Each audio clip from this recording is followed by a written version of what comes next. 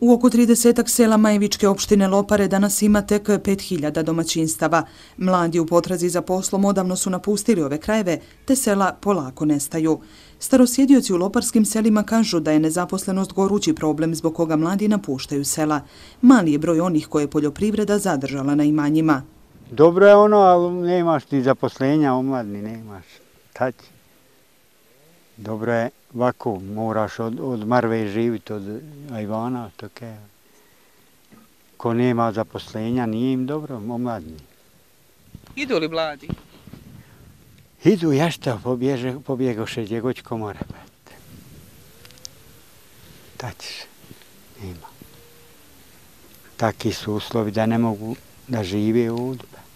Poljoprivreda je osnovni izvor prihoda stanovništva na selima. Ipak u fabrici pod otvorenim nebom teško je svake godine sabrati pozitivnu računicu. Nije lako ni do sigurnog plasmana poljoprivrednih proizvoda. Kvalitet zahtjeva više rada, truda i novca, ali na kraju donosi konkurentnost. Kako bi se održala poljoprivredna gazdinstva, opština Lopare je do sada uložila značajna sredstva podrške razvoju agrara i sela u ovom kraju.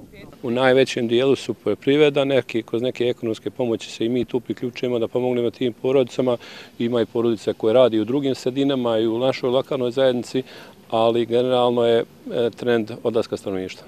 Uprko s ljepotama prirode i sela, mnogi su bili prinuđeni da napuste svoj rodni kraj u potrazi za nekom boljom prilikom za život, rad i egzistenciju.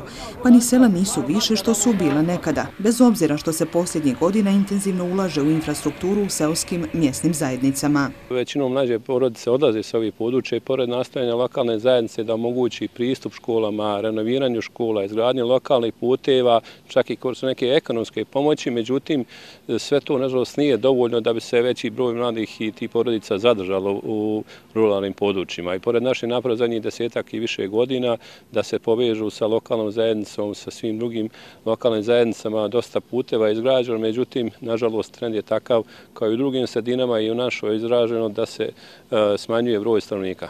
Na području opštine Lopare tri su centralne osnovne škole i 14 područnih. Neke od njih su gotovo na granici opstanka kada su kapaciteti u pitanju.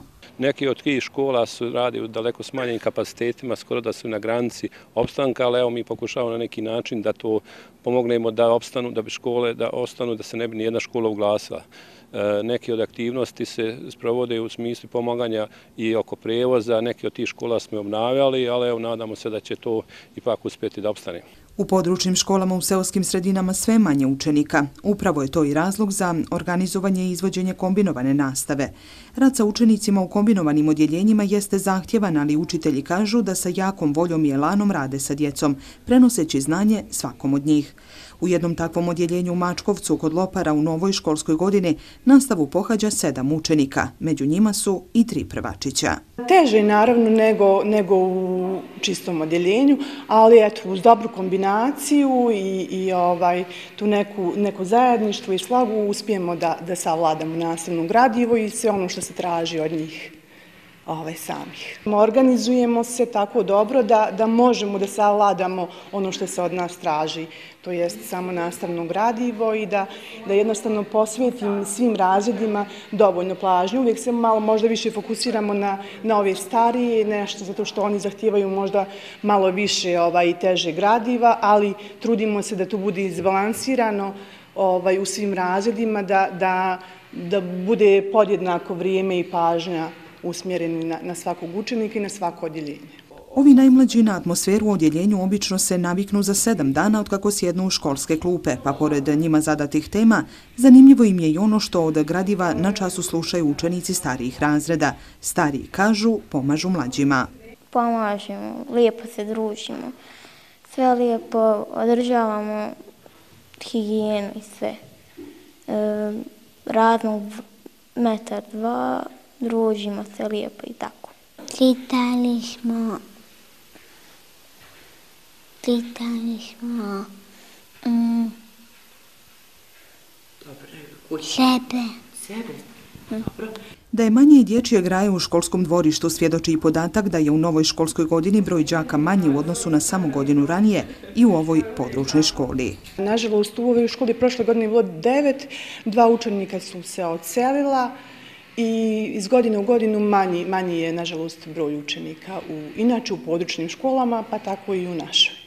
A kako bi zaustavila negativan trend ova opština u posljednje tri godine, sprovodi mjere populacione politike. Cilj je ekonomski osnažiti višečlane porodice kako bi opstao i održao se život na selu. To je podrška porodicama, višečlanim porodicama sa troje i više djece i kroz neke druge projekte pokušavamo da pomognemo tim porodicama. Tipa, ne znam, podrška kroz pastaničku proizvodnju ili nešto slično u fazi i planiranje nekih novih projekata kako bi pomogli porodicama.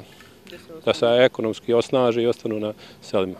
Prepričavaju stari da je ranije selima mnogo toga nedostajalo, ipak kuće su, kažu, bile pune omladine. Po 10, 12, bilo i 15, bilo neđe a sada nema. I sad ima stari pomriješe, kajem ti mlađi odoše. Ima 30 kuća, a nema, nema ko da živi, nema naroda. Sve pobjeglo u inostranstvo koje mogu, nema vode slabo ostalo, sve i što je ostalo. Jedno, dvoje u kući, čovjek, žena i one, oni su isto iznemogli, bolesni, stariji, nema Danas, kaže Milivoje, sela imaju sve od infrastrukture, ali su gazdinstva gotovo prazna i zapuštena, a kapije odavno zaključane. Stariji mi pomriješmo, što kaže stariji od mene, a ovi mladi odoše. Kad pogledaš, nema, ovo se sad izgradilo i putevi bolji i sve prije. Nije bilo ništa ovako, ali sad je bolje, ali nema naroda, nema svijeta a prelijepi krajolik ušuškala Majevica. Život na selu na prvi pogled mogao bi se uz svu potrebnu infrastrukturu lijepo organizovati, međutim, bez sigurnog posla, teško je ostati u ruralnim sredinama.